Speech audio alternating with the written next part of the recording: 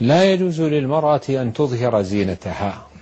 بإجماع أهل العلم قال تعالى ولا يبدين زينتهن إلا لبعولتهن وآبائهن وآباء بعولتهن الآية فدل هذا على أن المرأة تمنع من إظهار الزينة.